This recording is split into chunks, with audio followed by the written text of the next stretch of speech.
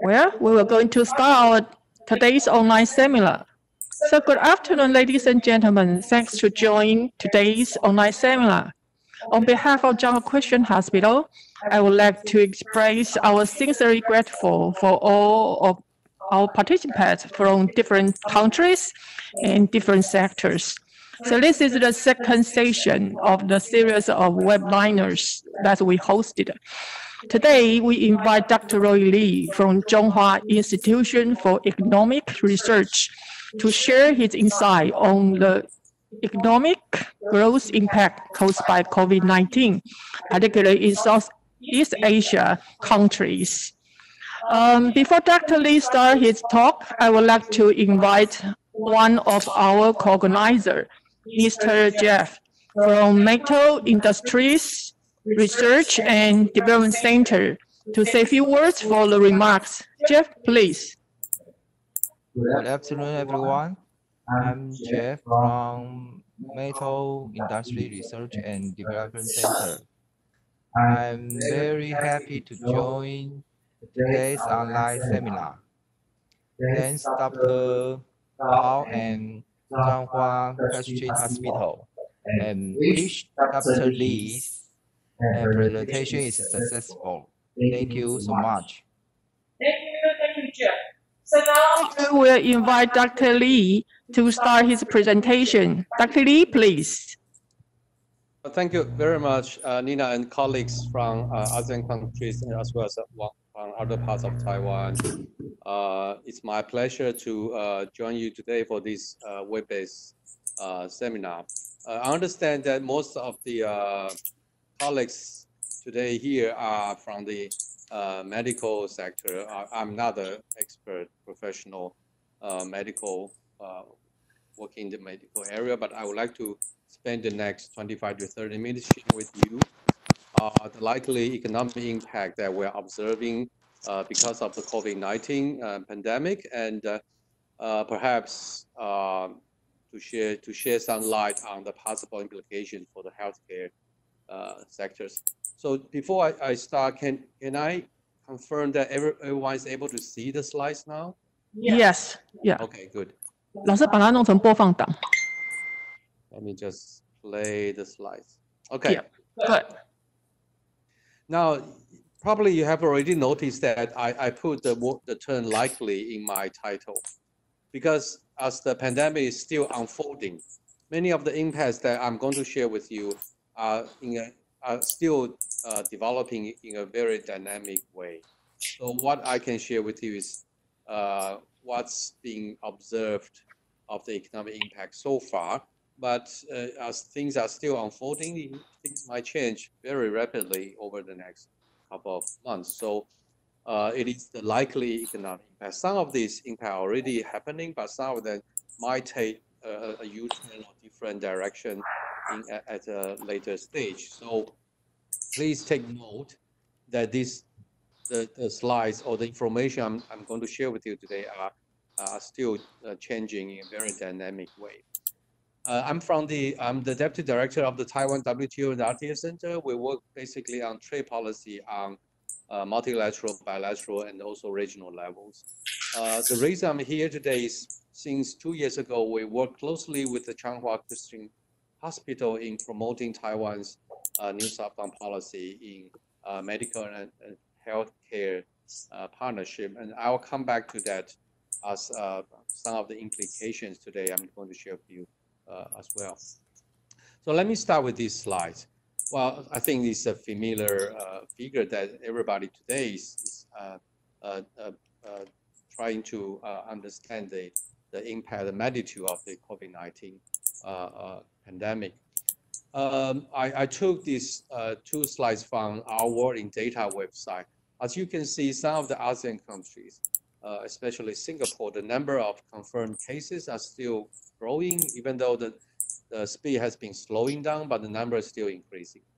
But on my right-hand side, you can see the curve of daily, uh, the, the average death rate seems to be uh, coming down. So the, the curve in terms of death rate is kind of bending. But I put a question mark here because as uh, we have been observing in the last two months, everything can change overnight. So currently we are seeing a, a, a tendency that the, the, the pandemic is, is uh, over time gradually under control, especially in terms of the death rate. The curve is bending, but it can change.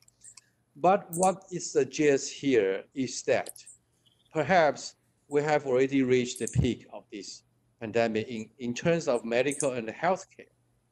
But what's coming up next in the next phase of policy challenge will be the economic impact that has been created by this uh, uh, um, uh, unprecedented uh, pandemic that is uh, uh, creating challenge and impact across different continents and across different countries. Let me start with this um, observation. Now, as we all it's already well known that China is the first uh, country that is uh, experiencing this, this uh, unprecedented uh, uh, COVID-19 uh, epidemic. It become now pandemic.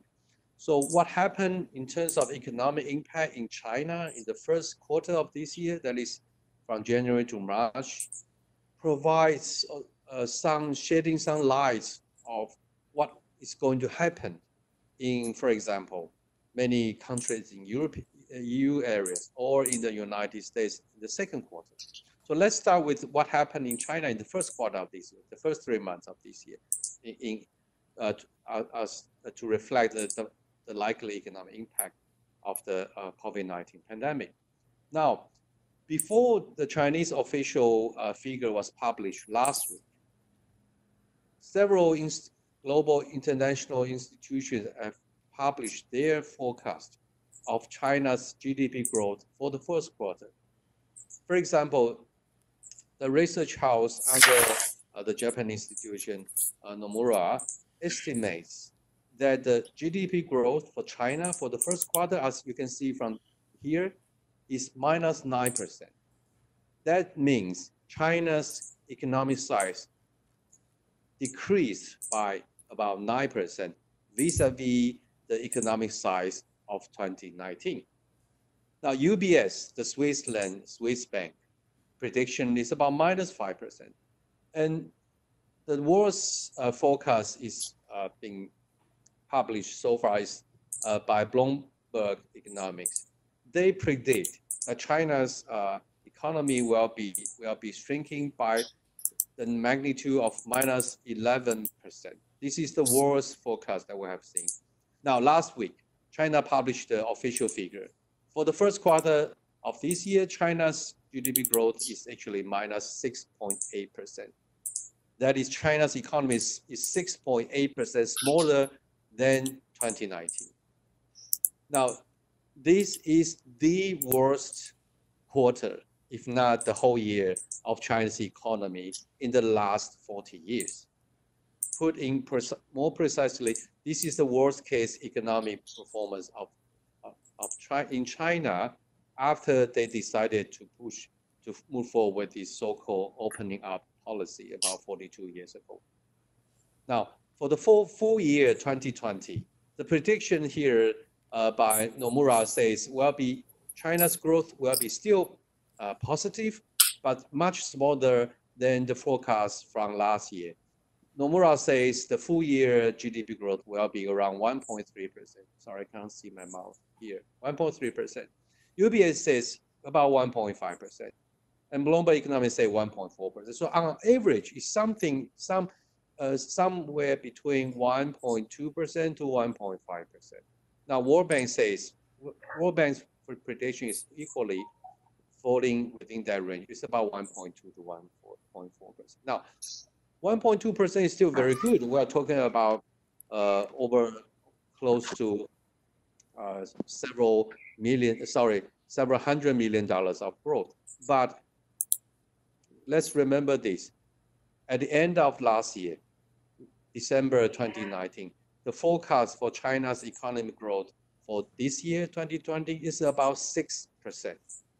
Now they downgraded the forecast from 6% growth to about 1.2 to 1.5% growth. So the change is huge and the impact will be uh, uh, um, um, we are still observing what will be the likely impact on Chinese uh, overall social uh, and other healthcare uh, sectors.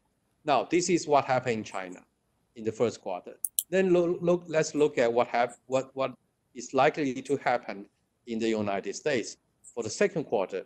The reason being, U.S. entered the peak of its COVID-19 pandemic starting from March this year. So the economic impact of COVID-19 on U.S. economy is going to be to surface probably in the next two months. So the worst economic impact is yet to come for the U.S.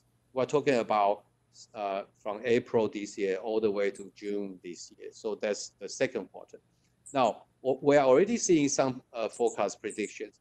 Goldman Sachs, it predicts the second quarter economic growth for the US will be minus 24%. Index for European Union, the, the Eurozone, for example, which was represented by the yellow line, is still declining. The PMI index for Japan, for example, is also uh, declining, and, and similar uh, situation is happening in the US. So if the COVID-19 pandemic is not under control in the next month or so, we are uh, predict uh, we are looking we are going to look at China, the U.S. number um, going in this way as reflected in the Chinese uh, experience. Now, let's take a, take a closer look at what happened in China in terms of manufacturing activity.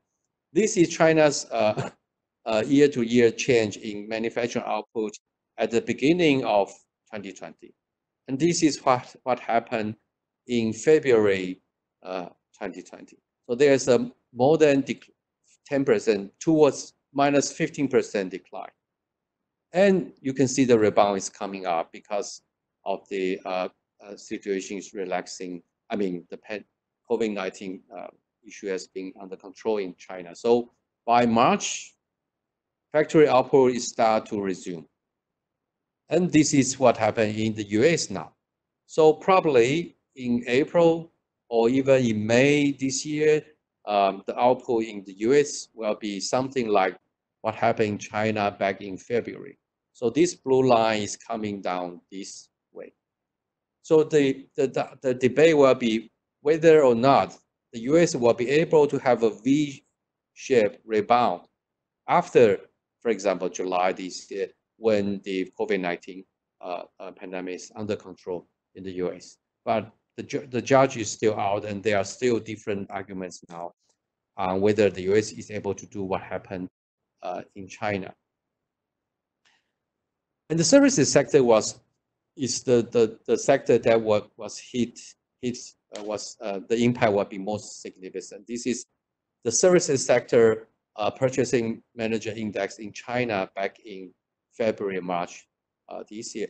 Well, it is understandable because of the COVID-19 uh, uh, measures. All the shops are closed, all the restaurants are closed, all the transportation are closed, and especially tourism are basically shut down. No transportation, no airline, no travel, no people movement. So, so the services sector including uh, um, related healthcare and the medical uh, sectors are all uh, having a significant impact. Medical sectors are all uh, focusing on uh, providing uh, treatments for COVID-19 patients. But for other sectors, shopping, tourism, they are all suffering from this pandemic. And again, you can see what happened in China is that the figure is, is rebound, is coming back after uh, March this year. So again, this is what happened in Eurozone. This is the green line is what happened in the US.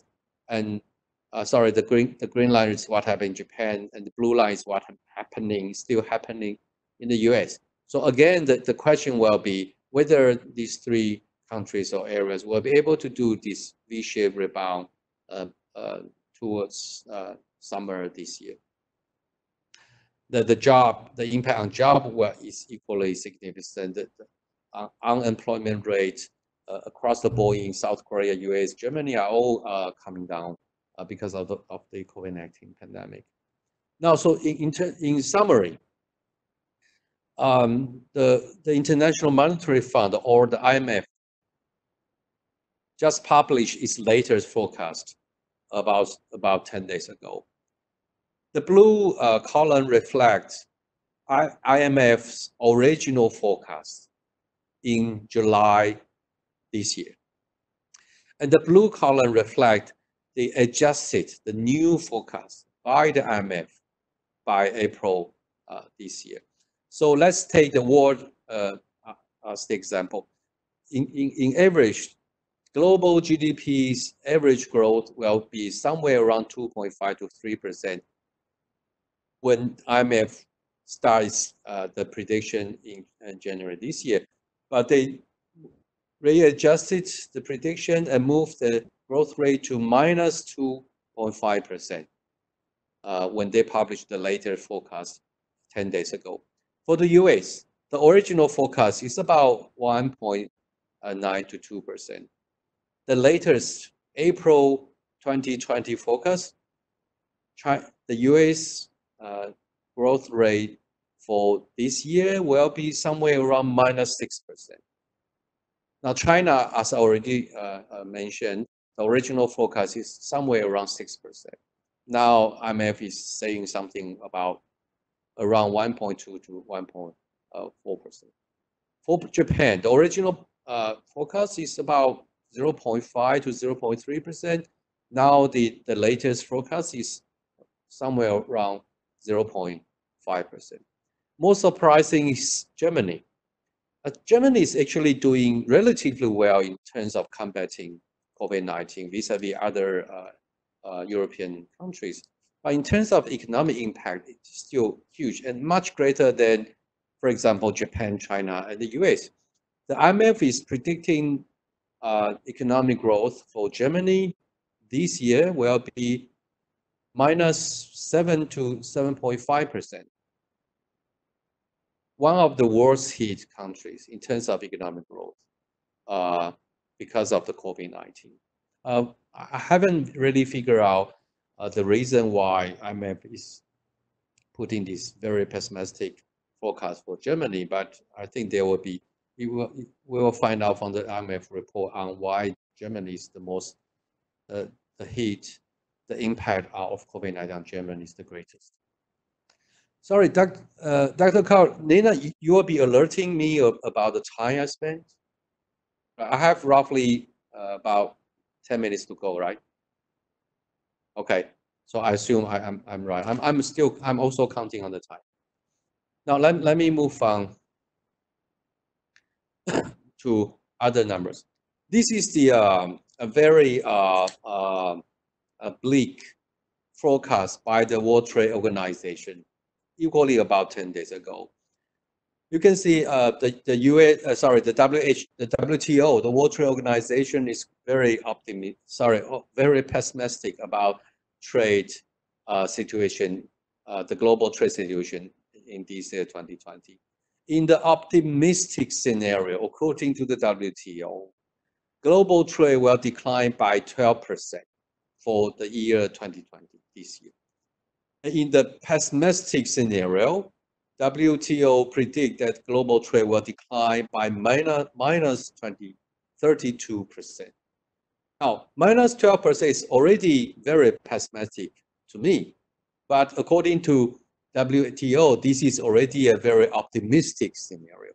So it is just a reflection of how the, the magnitude of the challenge, economic challenge that we're all facing uh, for this year. Now let me move on to uh, uh, uh, some of the ASEAN countries' performance. Um, Taiwan, according to uh, IMF prediction, uh, this year we're going to see a minus 4% uh, GDP growth rate, even though my institute also published our forecast just last week. And our number is not minus 4, our number is positive 1.1%. So we will see who is making a, a more uh, um, reasonable forecast towards the end of this year.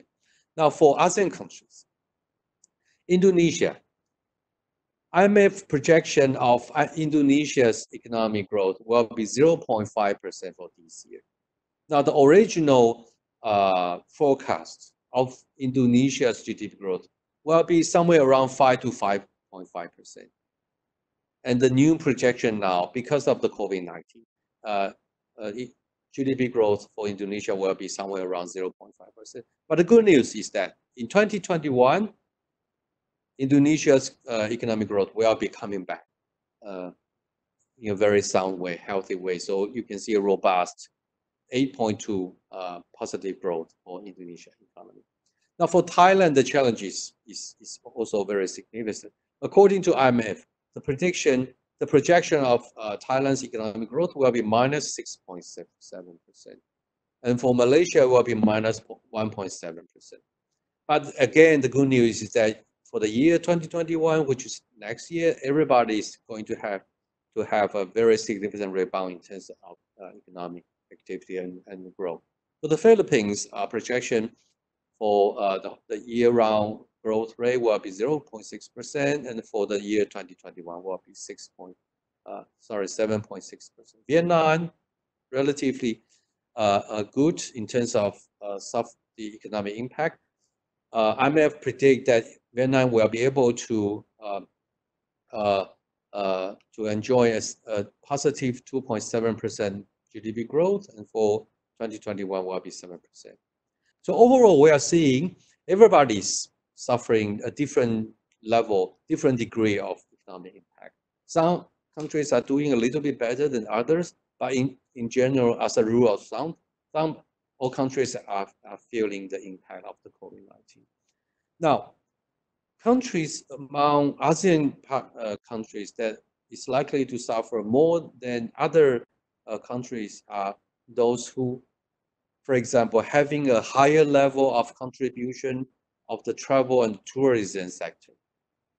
This is one of the reasons why IMF is predicting, for example, economic performance in Thailand will be hit uh, relatively harder than other ASEAN countries.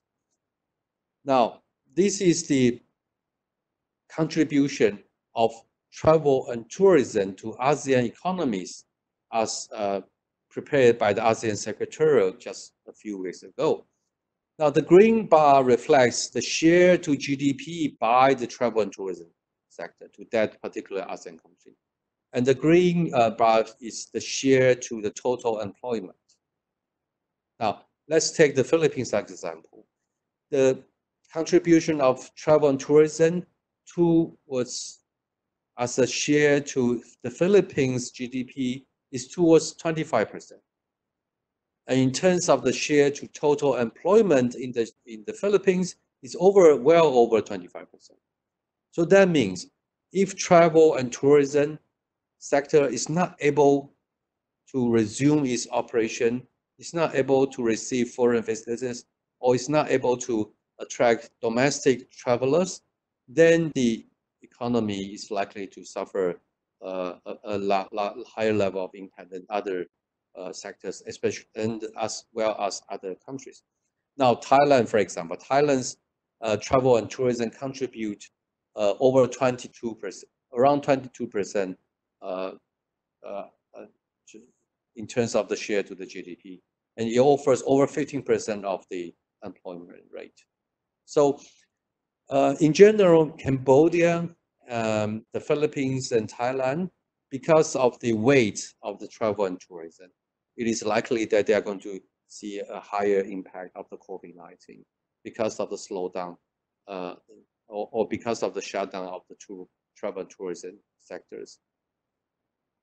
Now, we are all hoping for the best, but we also need to prepare for the worst. Now, in the best case, uh, scenario. As already, I already mentioned, 2020, we're going to see a not doing so well year for everybody in terms of economic growth. But the year 2021, we're going to see a significant rebound, right? Uh, especially for uh, developing countries, 2021, well, we are going to see a very significant growth, positive growth, growth on average in terms of economic activities. But there will be other scenarios that we need to uh, take into account. For example, this is again alternative scenario provided by the IMF. If there will be a new outbreak of COVID-19 in 2021, for example, towards the end of this year and early next year during winter time, then the situation in 2021 will be will continue of what we'll be observing this year. We're going to see a very significant decline in GDP growth for both advanced economies and emerging and developing economies. Again, another scenario is that if we're going to have a longer outbreak in 2020, for example, uh, we cannot control the pandemic in EU and US beyond summertime this year. Plus, there is a new outbreak in 2021. Then the, this will be uh, the worst case scenario. You can see world economy will still suffer all the way to the year 2024. So let's let's cross our fingers and hope that this worst case scenario, scenario will not happen, and and it is just a, a, a, theoretic scenario. Now, um, so the implication in the in Taiwan's case, we're already seeing many com companies start to put more weight uh, uh, and attention to the so-called resilience of the supply chain. Now, many countries, many companies in Taiwan, for example, who have a large concentration of manufacturing capacities in China, they suffered much higher uh, disruption for the first three months of this year because of the outbreak in Wuhan and, and, and in surrounding areas. For other uh, uh, companies who have uh, uh, uh, suppliers from the Mexico or, or, you know Latin American countries, they are also now suffering now because of the pandemic. So how to increase the level of supply chain resilience becomes a top priority for many companies in Taiwan. Now, for to increase the levels of resilience, you need to have the ability to, of foresight. That is to predict the next wave of risk, the next wave of of uh, epidemic or other uh, natural disasters. You need to diversify your supply uh, uh network. You need to diversify your market, and you need to sens be sensitive to, for example, new opportunities. Many companies uh, here in Taiwan used to put their focus only on China, US, and Japan. And now increasingly, they are now moving to uh, ASEAN countries. And you need to rebalance, rebalance between economic or, or economic or manufacturing efficiency vis-a-vis economic security or supply security or supply chain uh, resilience. And the last factor is how you, you should you can increase your local level of localization. That is, you don't just manufacture uh, your products in, in China and uh, export to the US. You should try to localize to understand the demand of the Chinese market. And the same, by the same token, localization also applies to Taiwanese and other foreign investments participating in ASEAN countries. So in summary, sorry, in summary, um, many Taiwan companies are now pursuing a very different supply chain model.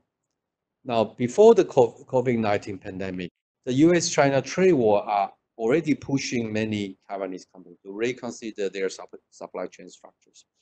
So the strategy they are pursuing, for example, include, first of all, China plus one model. So you don't you don't you don't focus concentrate so much on China. You need to have alternative partners, uh, most likely in ASEAN countries. And for those countries who who see US as the number one export market, or for those companies who use a very high level of US technologies, the, the so-called ABC strategy is probably a preferred way to go. ABC stands for anywhere but China.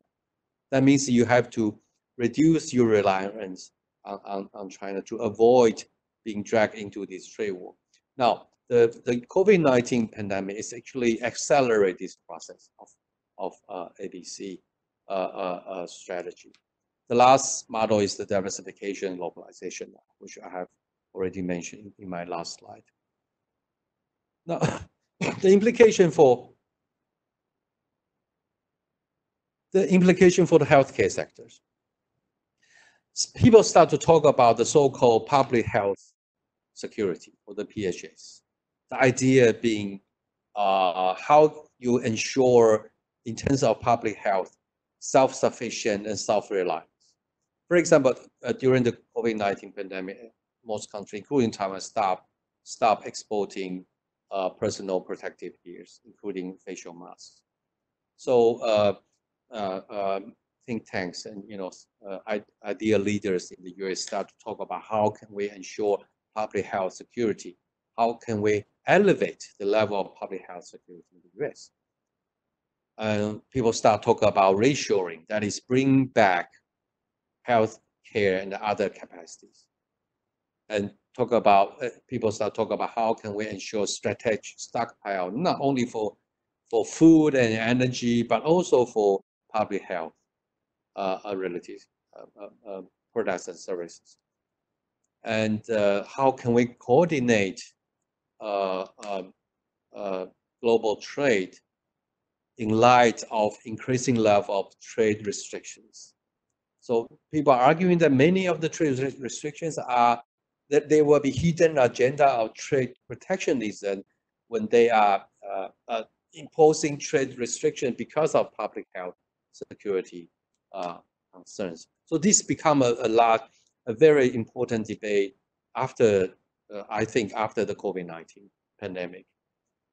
And also the globalization is under attack. Many people about, talk about the, the pandemic, the root of this pandemic is globalization. So if there's no globalization, or if the level of globalization is is not as uh, as uh, we are being we are observing now, maybe we're not going to have a, a pandemic of this scale. And also, people talk about uh, if everybody is talking about self-reliance, then how about cooperation? So we probably are observing a new phase, new generation of public health uh, uh, cooperation and coordination as well.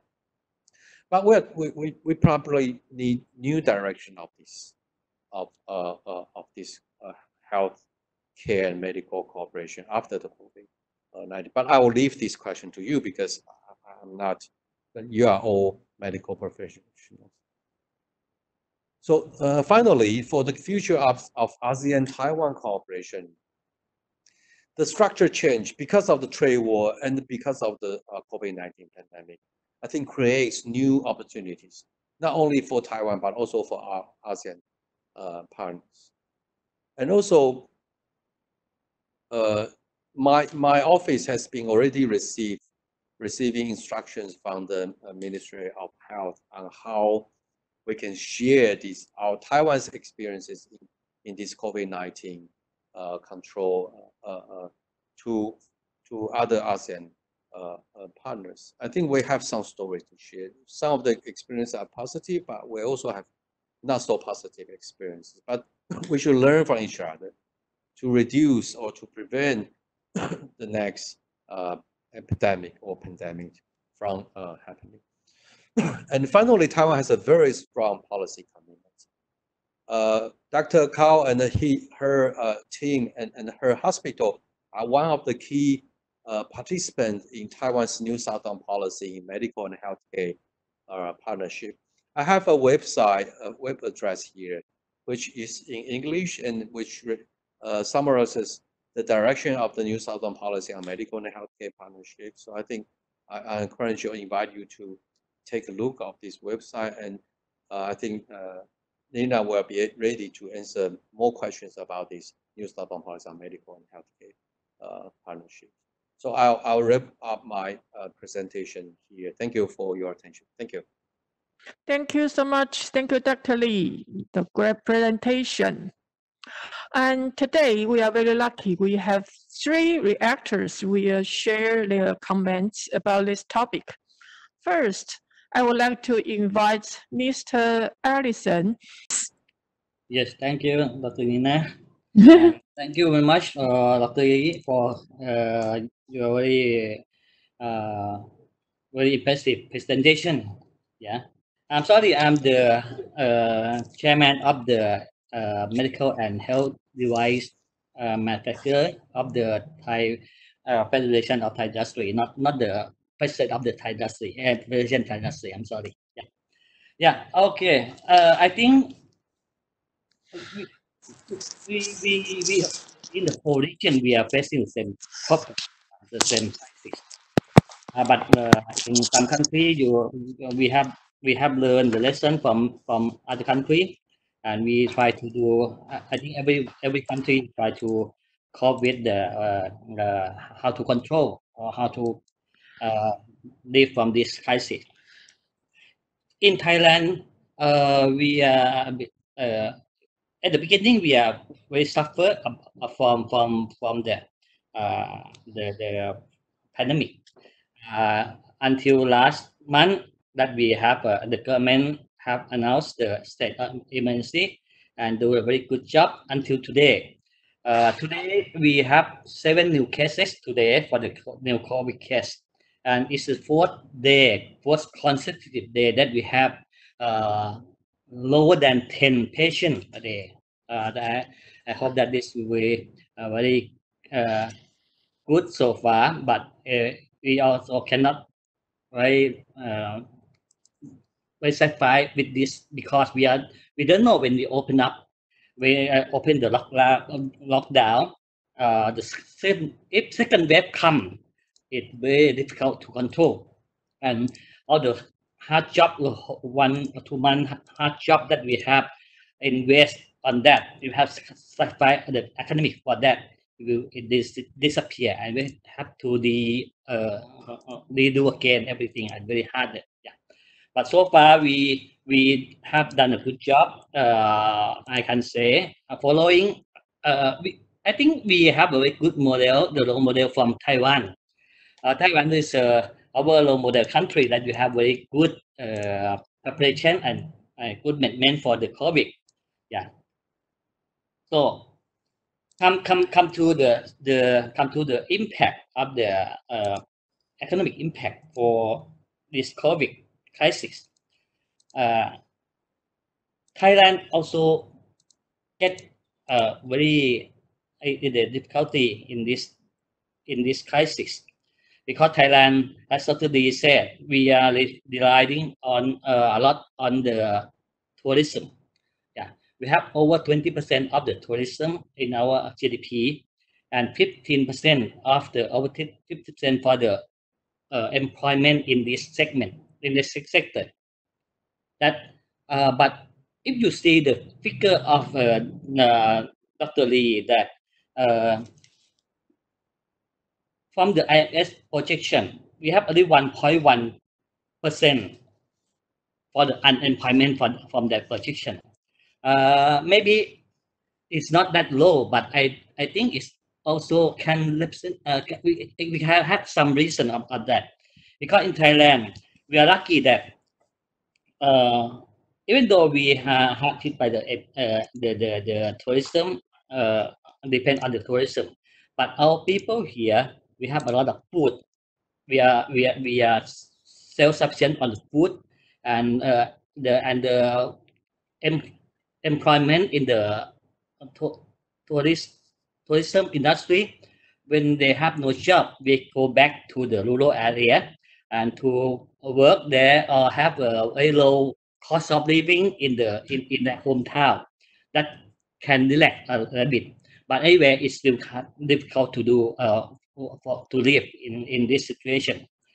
But for others for other uh, the the sector i mean I think it's quite difficult because uh, with when you cannot open, even though you can control the COVID in the country, uh, but you cannot open fully for the country with, uh, if other country cannot control. And in Thailand, we are is the is the hub of the traveling hub in Asia, in ASEAN. So we have a lot of tourists, tourists coming in. Uh, have a lot of uh, trading here. Uh, so if there's limited movement for the people, also difficult, difficult to, to, to do the business and to expand the business also. Yeah, that, that's the point. The only thing that I, I, I we cannot we cannot predict when uh, we, we uh, live from this situation. The only hope that we can get rid of this situation is waiting for the vaccine. If you cannot have vaccine, you cannot rely, you, you, you're, you're not be sure that uh, you can have new case coming in. And if the second wave uh, explode, it's very difficult to control the game. We have experience from some country that uh, even though you have a very small group, last few days we also have uh, about 50 new cases from the from from the uh, group of people. Yeah, that that uh, but but we can control it so far very good. And uh, the the other thing is, uh, I, I agree with Dr. Dr. Lee about the the uh, the model about the uh, the new opportunity of the, uh, the, the the new model of the uh, economic model that after the trade war and COVID nineteen have passed. I think everyone can think in the same way. Either you are with the China Plus One model or ABC Anywhere or diversified localization. I think it has, uh, is similar. Yeah, we have same idea, but how to do that? And it depends on, I, I think it depends on each country or each company to, to, to do that according to their capacity or their opportunity. Yeah. And and for the for the uh, in Thailand, I think we we have a very good system of the healthcare system so far that we uh, we lucky that we can control. And from this point, I think we have ways we have strength on this and combining with the tourism and if the if the uh, economic if the COVID nineteen uh, crisis uh, gone, we think we can moving up to the same uh, level or even more. But we have to rethink how to survive in in the future, not it's the new normal now. We have to think how to do. Yeah. But in Thailand, I think I, I, I, we, we have a, a principle from our our uh, beloved King Rama IX. We have a self-sufficiency economy principle in Thailand that everyone can can live on that. Uh, I think that is very important for our people here to to to uh, this. And back to the uh, future cooperation for the Taiwan uh, international, uh, not only Taiwan, I think international trade in future. We have to rethink how to how to work together. What is the good cooperation in future? I think everyone have to think how to be the partner, how to form the partnership instead of only buyer and seller. How how can we cooperate, become a real partnership? yeah think of changing the changing the way of uh, the the way of me to the way of we together and have a win-win win-win cooperation for long-term uh, prosperity for, for for for each other. I think that that's all my my my my point that I want to add to this. Yeah, thank you. Thank you. Thank you very much. Yeah, thank you, uh, Mr. Adisorn. Um, the next, I want to invite uh, Syakella from um, Malaysia. He, she is the Director of Investment Division of Malaysia Friendship and Trade Center in Taipei. Yeah, Syakella, Syakella please. All right. uh, good afternoon, everybody. So I hope everyone in uh, good health and safe. And again, thank you, Dr. Nina, uh, Kau and team to invite us uh, to this uh, webinar. Again, thank you, Dr. Roy, for you know sharing us all these uh, indicators, economic indicators in our economy.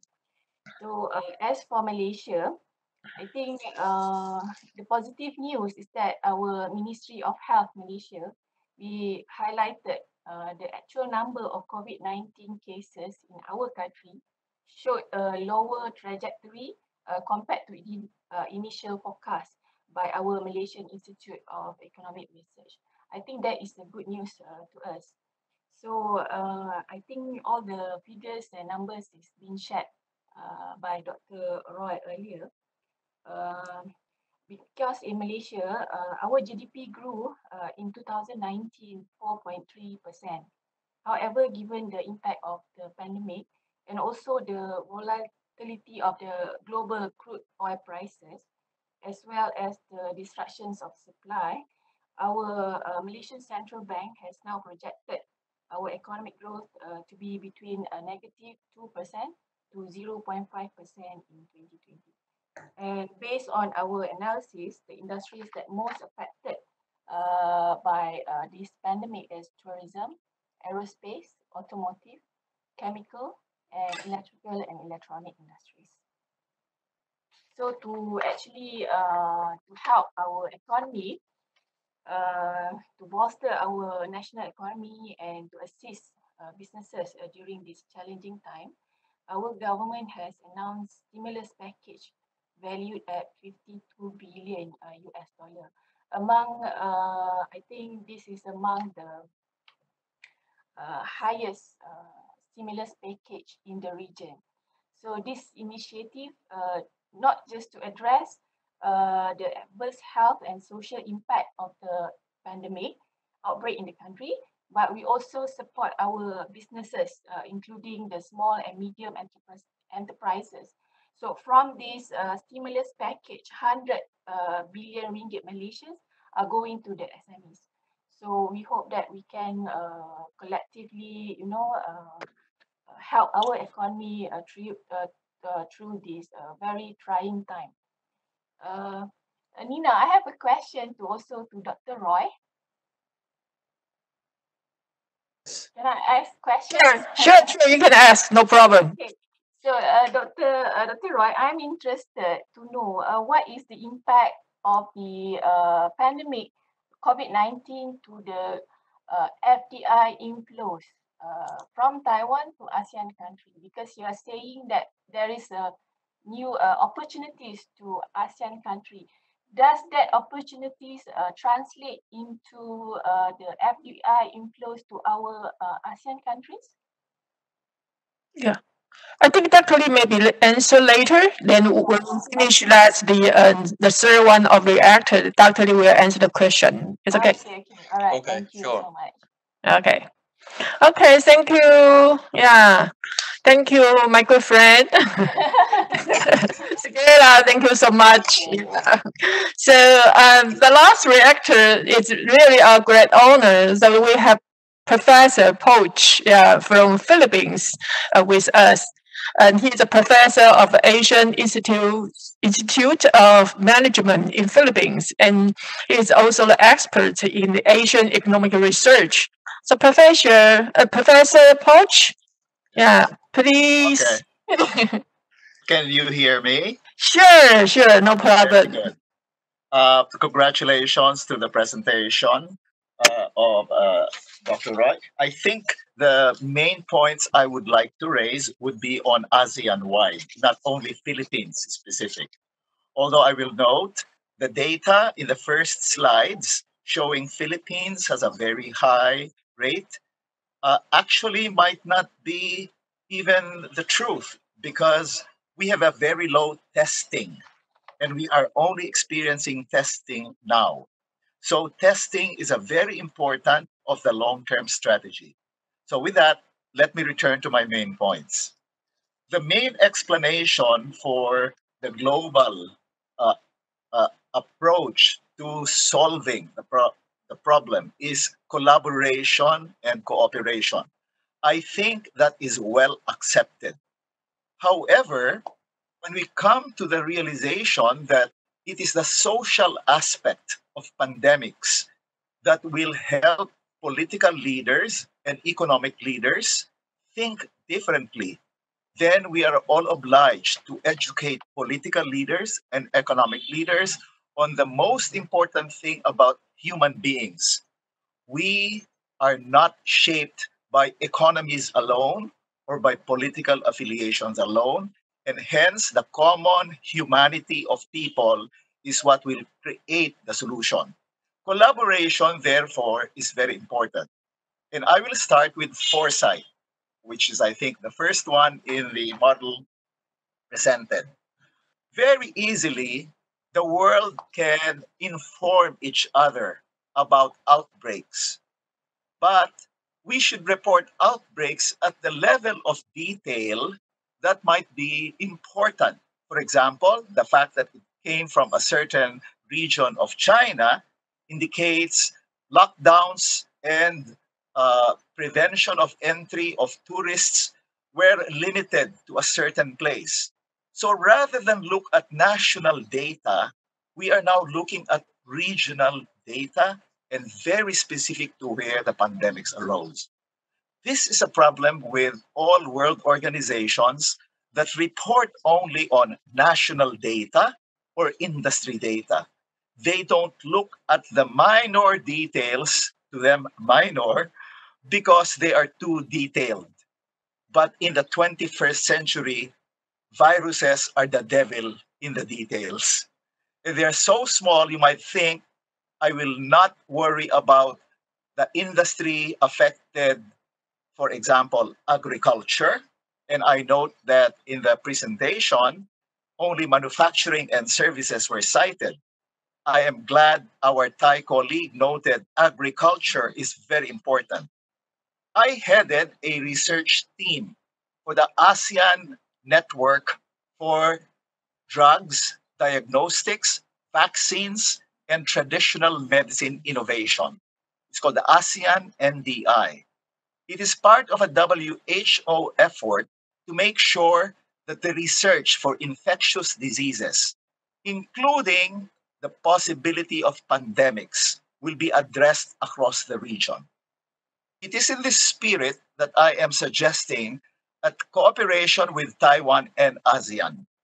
Maybe we can focus on the foresight part by looking really at the sources of possible pandemics, which is where we coordinate with other not only economies and nations, but also industries that may be reporting to us the source, whether it be the agriculture sector where animals are the source of these pandemics, so that this early warning system will not be very national, but very specific to regions where they might be sourced. Our study in the ASEAN Network for Innovation of Drugs Vaccines tell us that cooperation is already existing but we need massive efforts, including Taiwan, which has cooperated with ASEAN in this regard, to make sure we are always understanding the big picture.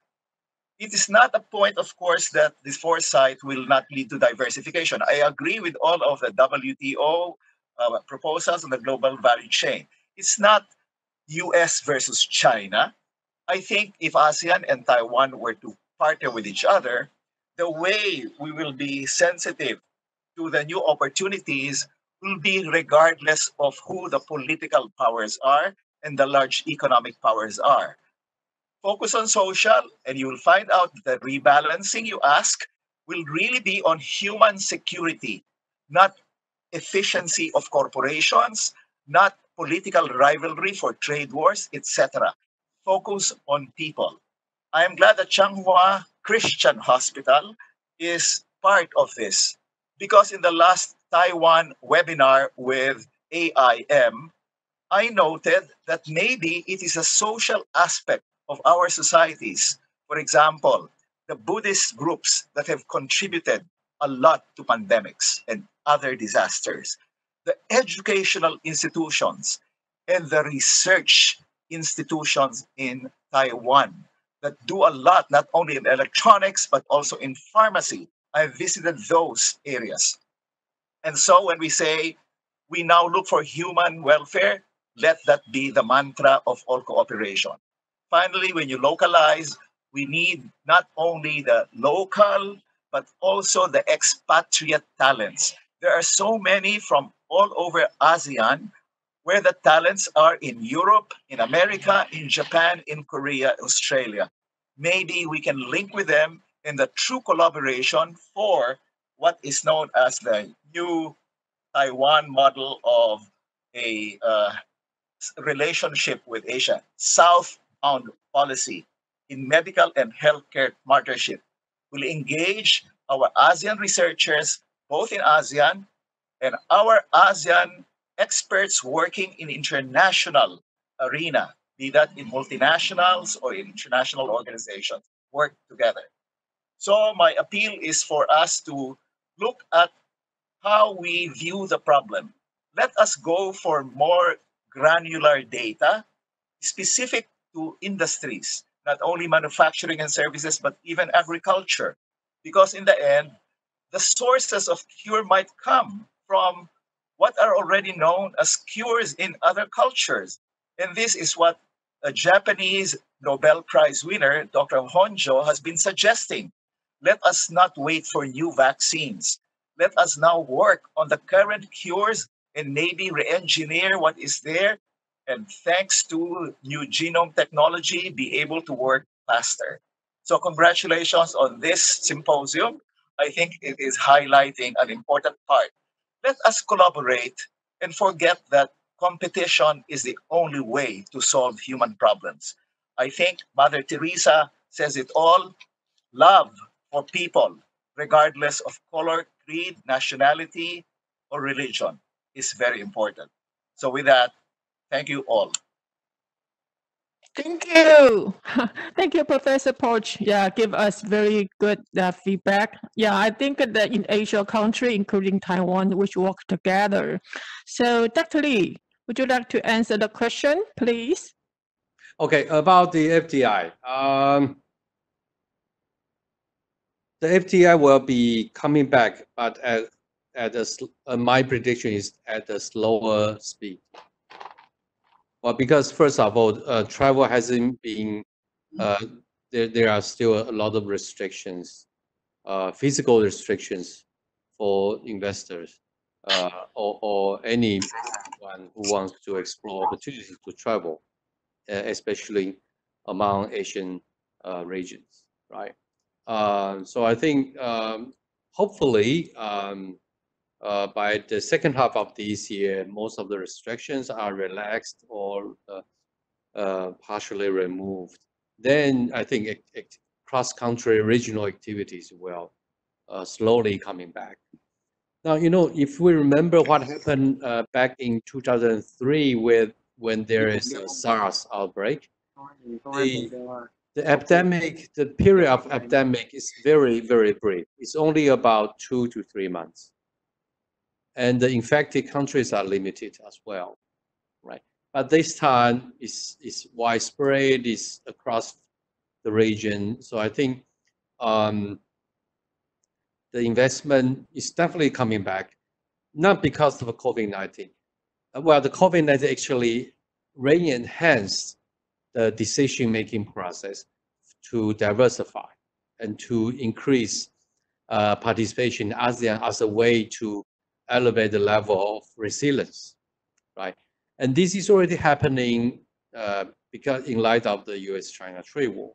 U.S.-China has a, is still uh, rivaling in technologies. For example, just two days ago, U.S. published a new list of exposed sanctions against uh, in China and the Russian military use technologies, right? So, so I think this diversification and also uh, look, connecting with new partners is, is, is the way to go. But the COVID-19, the COVID-19 in one hand reinforced this uh, direction, but at the other hand, um, make things move slower than expected, right? So I think it's, it's we're, we're looking at a full resumption of all these events probably towards uh, early towards the first quarter of next year. But this year, I think things will be slowed down. Uh, will be slowing down. Um, for example, people like me or Syakella, maybe you are also in Taipei. We are now more reluctant to travel. We, we prefer to have video calls and you know video conference rather than you know physical traveling to other parts. But that takes time for people to really you know change their mindset and going back to, to normal uh, economic and lifestyle. and what uh,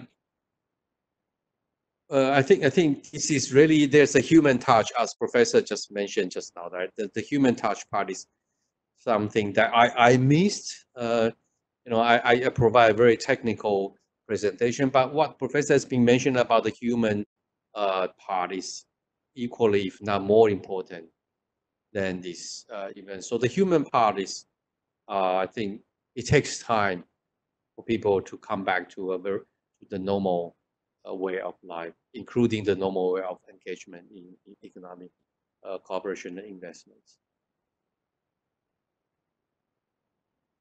Okay, thank you, Dr. Lee. Sorry, because the time is almost up, so I need to close today's session. And before I close today's session, I think today's um, the the our video, the all of our video will be going to upload to our website. So if you missed today's and any of the information, you can replay the video we are going to upload tonight or no later and then tomorrow. So, and for more of information of our webinars, uh, you can also access to our website. Yeah.